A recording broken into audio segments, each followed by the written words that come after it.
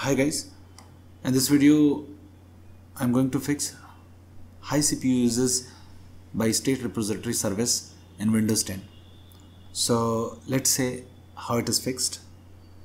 So this is your state repository services okay and uh, let's say this service is giving a high CPU okay and uh, it's consuming a lot of CPU from your system. So let's say how it is fixed. First of all what you need to do is to search PowerShell PowerShell on your Windows PC now just do a right click and click on run as administrator okay? So once this Windows PowerShell window with admin rights opens up what you need to do is to just copy and paste this code okay to PowerShell and hit enter. What this code done this registers all standard apps and thereby fixes the original issue to most of the users in this case. Okay so just copy and paste this code. I have pasted this code below this video. Okay you can just copy and paste from there just click enter hit enter.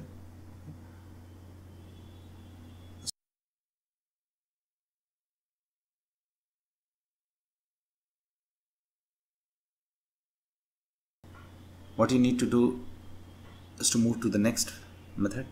Still uh, CPU is high. So what you need to do just click on start button then click on settings icon. Now once the settings panel opens up what you need to do is to just go to apps. Okay. now once this opens up what you need to do is to just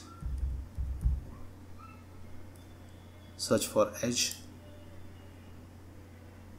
Now there is one option named advanced option. Just click on advanced.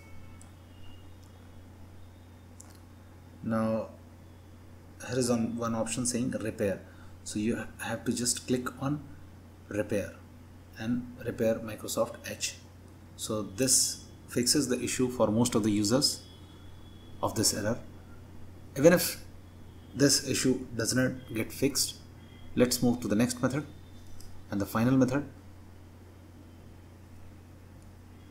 Just search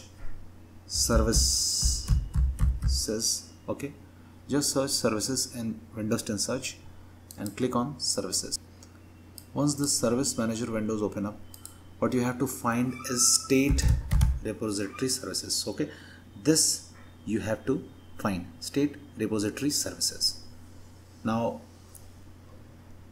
what you need to do is when you select it just click on restart.